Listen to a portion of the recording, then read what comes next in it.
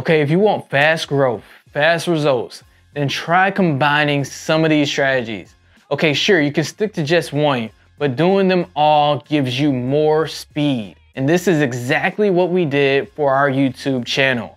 And as a result, in the last 30 days alone, we've been able to generate 2,600 new subscribers on two different YouTube channels, which is why we're so confident that we will definitely break 10,000 new subscribers this year.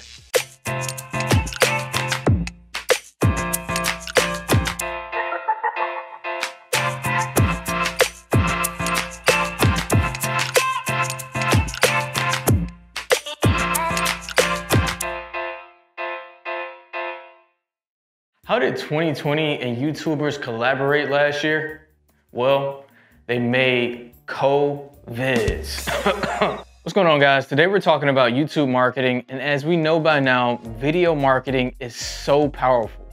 And we have been highly encouraging everyone we know to start thinking about making videos because doing so without question will help you establish a stronger connection with your audience. That's why in this video, I wanna reveal some strategies that you can do right now for your YouTube marketing in 2021.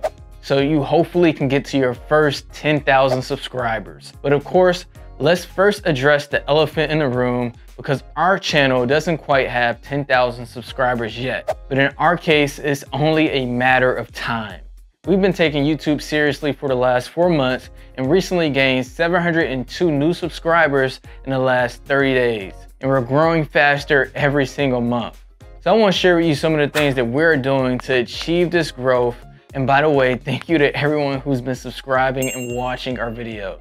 Okay, let's go ahead and dive in with our first 2021 YouTube marketing tip, okay? Step number one, establish your goal. Just like any other social media platform, the main reason that people come is to learn or be entertained on a specific platform. And if you can do both as a YouTuber, you're already one step ahead of the competition.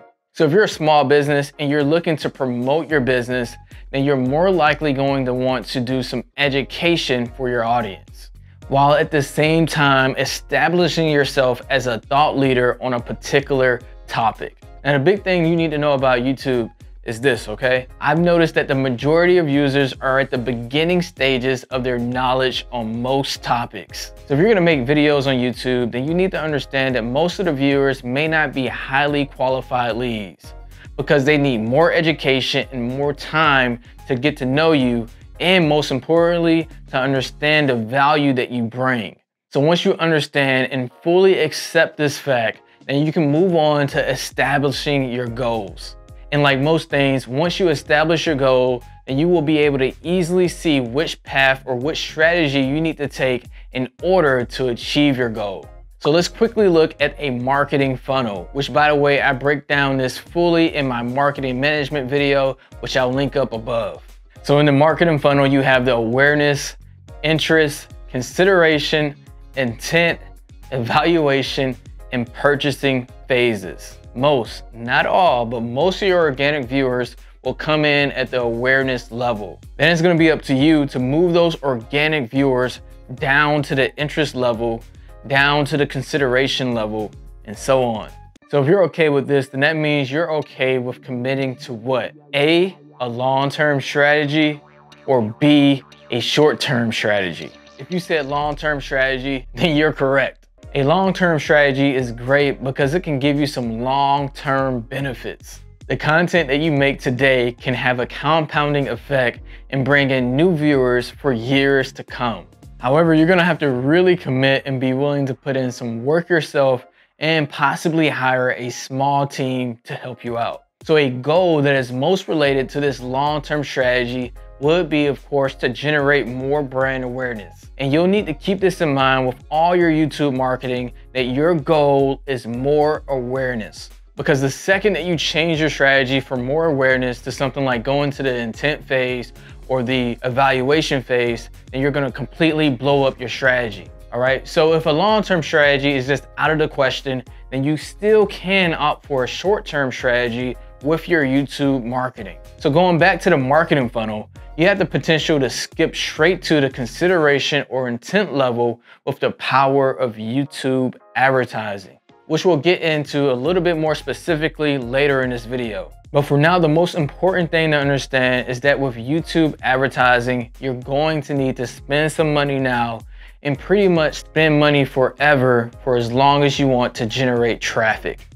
That means if you want to keep attracting new viewers, new visitors, then you'll constantly need to pay for more views. And a goal most related to a short-term strategy would of course be more quality traffic, leads, and even some sales. Okay, so now that we have that foundation, let's go ahead and get into some strategies. Starting with strategy number one, leverage external audiences. Okay, this YouTube marketing strategy is mainly for anyone looking to grow organically or for the long term. And this is a gimme, but of course is still often overlooked. Hey Sean, look, I can use my external force to move things out of the way. Okay, not that kind of external resources. What I mean is that if you are online, if you have any kind of base whatsoever, regardless of how large or small your base is, then you need to use that base to build your YouTube audience. You can use your email list to send out email newsletters whenever a new video releases. You can embed your videos into your website or your blog. You can use all your social media channels like Facebook, LinkedIn, Twitter, and whatever else you have. You can even send text messaging campaigns or put a sign up in your physical location that talks about your YouTube channel. Okay, so the main message here is that if you have any kind of existing audience, then use it. For us, about 30% of our traffic and views come from our external resources. So this helps us out a lot. And speaking of us, if you're new to the channel, hey, I'm Sean with LYFE Marketing, a digital marketing agency that saves businesses from bad marketing and no growth. If you're enjoying this video so far, then please make sure you hit that like button and you subscribe to our channel for more valuable marketing tips. And if you're already subscribed, welcome back. And as always, thank you so much for being a part of our growing community. All right, now let's move on to our second strategy for YouTube marketing in 2021, which is to create valuable YouTube content consistently. This approach will apply for anyone who's looking to do a short-term or long-term strategy. Although since I use the word consistently, it is a little bit more skewed to a long-term strategy. But either way, if you're going to be creating videos on YouTube, then you better make sure that people actually want to watch them. And the best way to ensure your chances of success is by making sure you're bringing value to your audience. All right, as we mentioned earlier, people on YouTube like to learn and be entertained. So what are some ways that you can create value? I'm gonna do a quick rapid fire of six ideas to help you get started. Number one, Q&A. Take some questions and give some answers. Okay, it's no secret that in 2021, I'm a big fan of going live and interacting with your audience in real time because then you can bring some immediate value and connection to your audience. Number two, humor. If you're someone who's charismatic and you can make people laugh, then this is definitely something that you can take advantage of in your YouTube marketing.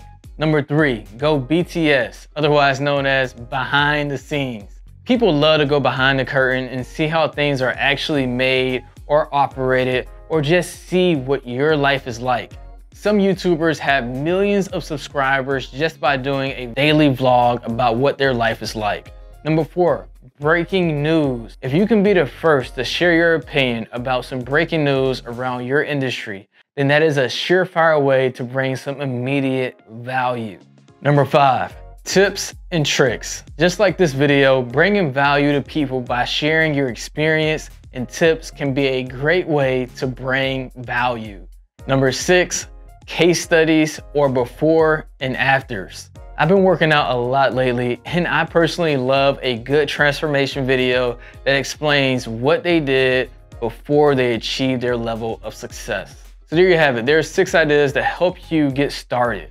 But the possibilities here are endless, okay? The key is to think carefully about what it is your audience may want and bring that to them in video form.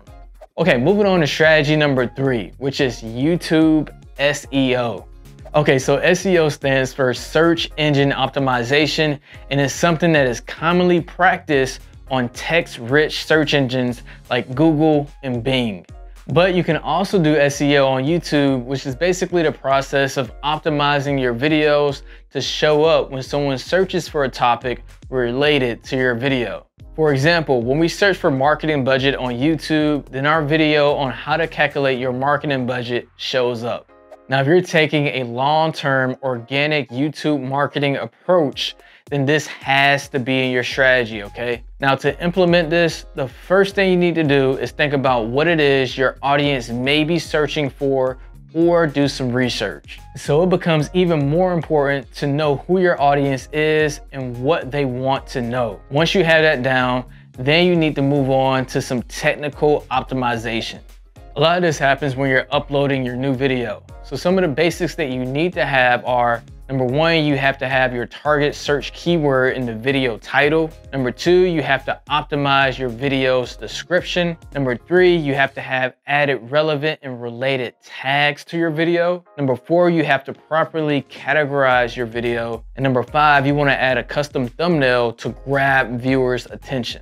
Now, believe it or not, this is only scratching the surface and there's a lot more you need to know about YouTube SEO. So if you wanna see us do a dedicated video and share more about what we know around YouTube SEO, then make sure you tell us in the comment section below.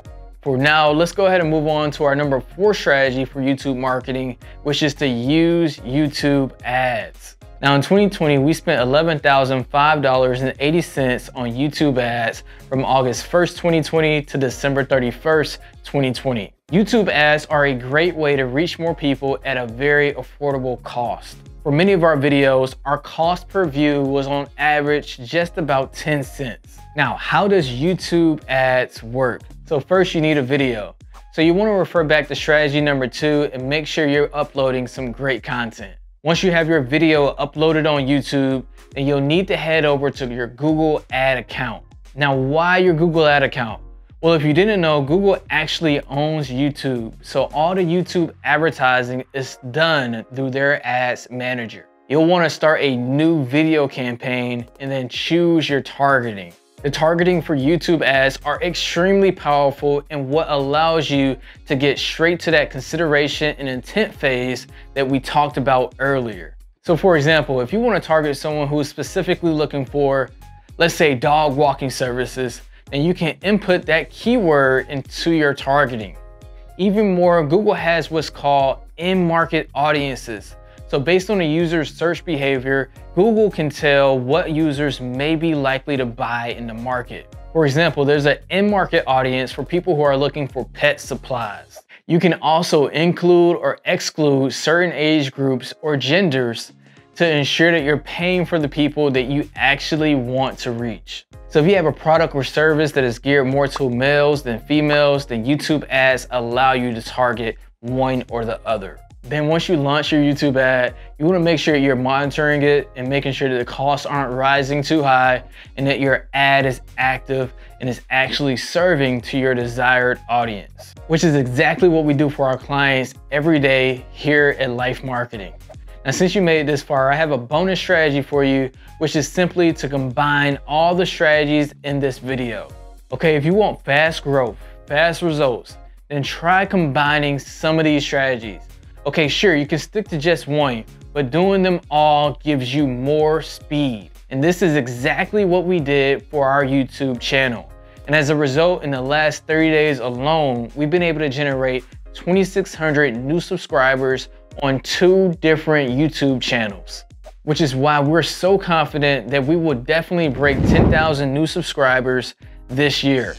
So give it a shot and start making some videos and leverage the power of YouTube marketing. And by the way, I often get asked, how long should my videos be? So last week, I made a good video on video length, not just for YouTube, but for all social media channels, which you can check out in the link above. All right, so that's it for this video, guys. If you enjoyed it, please make sure you like this video so other people just like you can find out more about YouTube marketing. And make sure you're subscribed so that you'll get notified the next time one of our videos drop. All right, that's all I got. As always, thank you so, so much for watching. I'm Sean, and I'll see you in my next video.